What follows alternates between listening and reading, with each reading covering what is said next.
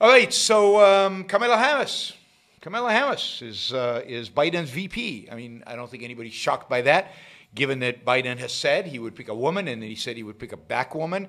Although, I, I don't know if you noticed, but the last few days, he was, um, uh, you know, toying with the idea of picking the governor of Michigan, who's not black.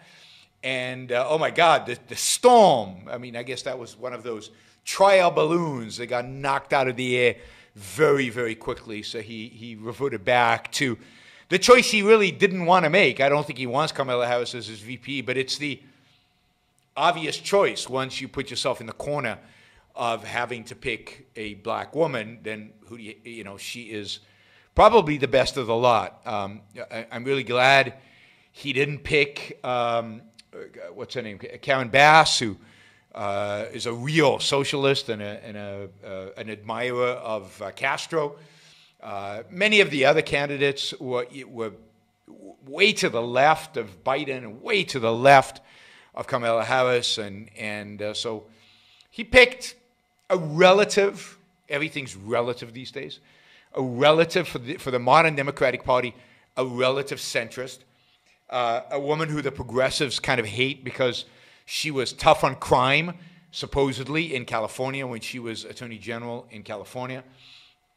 Um, and, and, and somebody who's super ambitious, super ambitious, and who actually so ambitious that she actually slept her way into politics. I mean, I don't know if you guys know the story, but I, I believe this is a true story because it comes from Willie Brown. Willie Brown wouldn't lie about stuff like this. I don't know if you know Willie Brown. Uh, maybe you don't. If you haven't lived in California, maybe you're not aware of Willie Brown. But Willie Brown is one of the more colorful uh, politicians in um, the state of California. He was for many, many, many years the uh, Speaker of the House of uh, uh, the State House in California.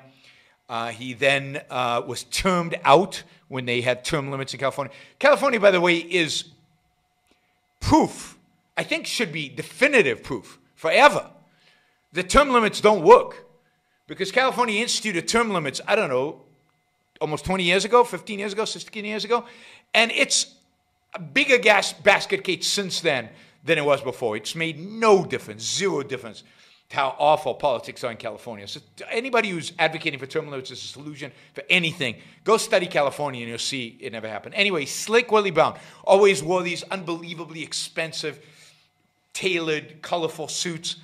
Um, a, man who entered politics penniless and is is is an incredibly wealthy wealthy guy. Anyway, uh, uh, um, when Willie Brown, so he was mayor of San Francisco, and now he's retired, I guess. But when Willie Brown was uh, Speaker of the House, um, he was married at the time, but he, he was known to have, I guess, what you call an open marriage, and he would often appear at parties and other places with his wife and his girlfriend, and um, you know, I don't know the details. This is, you know, but but there was something going on there where he was sleeping with a variety of different women while being married, and nobody seemed to care. At least of all, it seems his wife.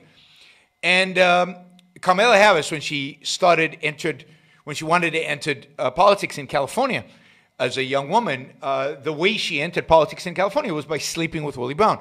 And this is not a secret. Willie Brown actually wrote an editorial for the San Francisco Chronicle detailing this. He told the story. And in exchange for sleeping with him, he basically appointed her to some commissions, which were basically her beginning into uh, politics. Uh, Kamala Harris, I, I think, I, and I know I'm going to get massive backlash on saying this. I know, I know it's coming because you can't say this kind of stuff on anybody on the left. But I think she's smart. Uh, but she's a power luster. She wants power. That's all she really cares about. She's not an ideologue. She doesn't have a commitment to any set of ideas. She's on the left, but she could be anywhere as long as she believed it would give her power. Um, you know, she has clawed herself up to where she is today. Uh, and again, this whole sleeping with Willie Brown, Willie Brown told the story. I wouldn't have suspected it, but that's who she is. Uh, she is. Um, somebody says she's like Hillary. Uh, yeah, maybe. Maybe this, she didn't marry her way to that power. She wasn't the woman behind the man. She was always being the woman in front and, and, and leading the charge. Uh, maybe you have a younger generation, Hillary Clinton. Uh, but she is um, she's definitely a, a non-ideologue, which is good, I think, because any kind of ideology on the left is going to be horrific. She's a pragmatist. She wants to she wants to be president one day. Uh, she'll do what she needs to do to appease the the progressive wing of the Democratic Party, and but she'll govern. I think she'll a tendency will be to govern from the uh, center left, uh, you know, left, but but more towards the center. Now, the center's moved way to the left. So the cent- there is no, you know, the center today is not the center where it was 20 years ago. The center's way to the left of where it was, but she'll move, she'll govern from there um, if she gets into that position. And I think she has a good chance of getting in that position because if Biden drops dead, given that he's 77, and if he gets elected, um, if he gets elected, he is unlikely. Uh, he's, you know, there's a good probability that he doesn't make it. Um, what we need today, what I call the new intellectual, would be any man or woman who is willing to think. Meaning, any man or woman who knows that man's life must be guided by reason, by the intellect, not by feelings, wishes, whims, or mystic revelations.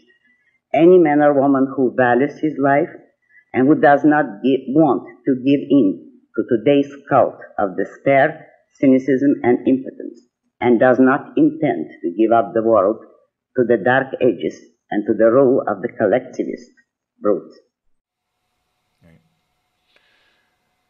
All right, before we go on, reminder please like the show. We, have got 163 live listeners right now, uh, 30 likes. That should be at least 100. I figure at least 100 of you actually like the show. Maybe there are like 60 of the Matthews out there who hate it. But but at least the people who are liking it, you know, I want to see I want to see a thumbs up. There you go. Start liking it. I want to see that go to 100. All it takes is a click of a, a click of a, a, thing. Whether you're looking at this, uh, and and you know the likes matter. It, it's not an issue of my ego. It's an issue of the algorithm. The more you like something, the more the algorithm likes it. So you know, and if you don't like the show, give it a thumbs down. Let's see your actual views being reflected in the likes. But uh, if you like it, don't just sit there.